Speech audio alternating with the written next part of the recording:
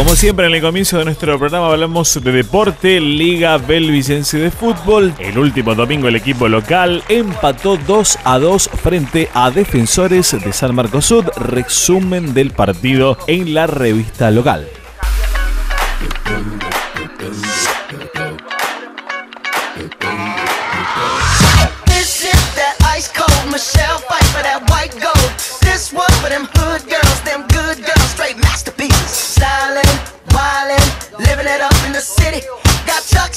St. Louis.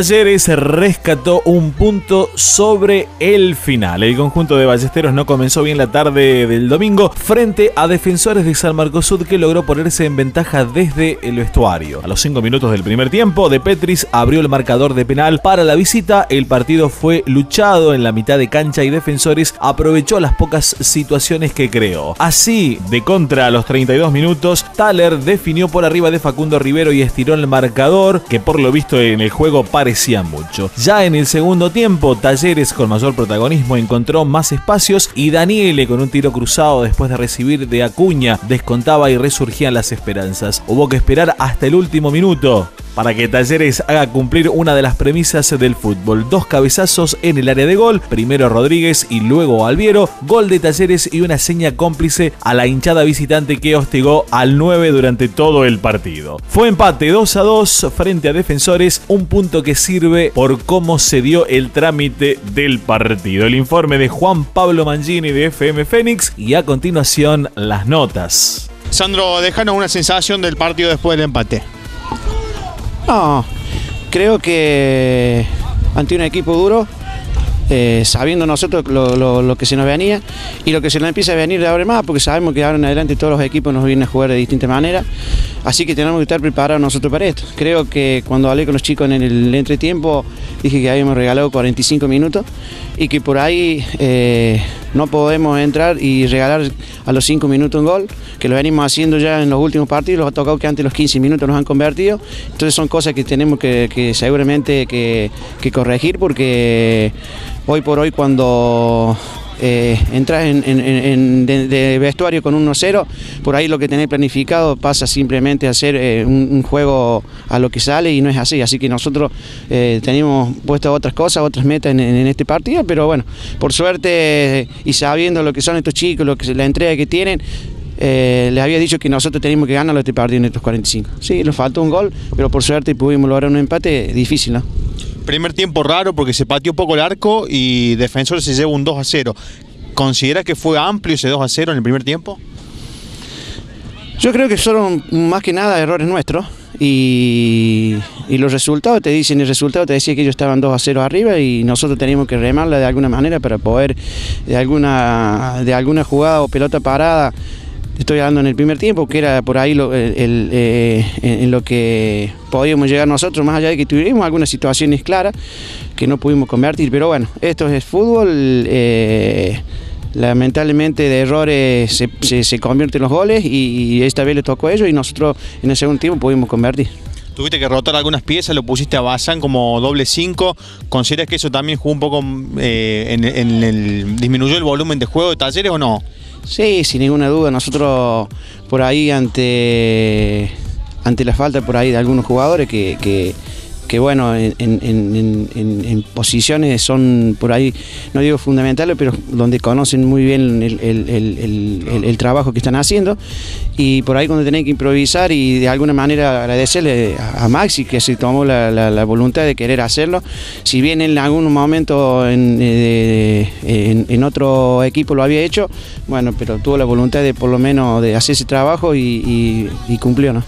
¿Vale el empate sobre el final? Sí, por supuesto, por supuesto que vale.